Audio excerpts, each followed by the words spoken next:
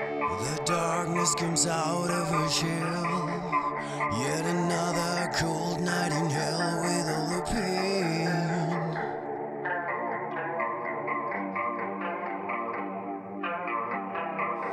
The dying light is losing its glow.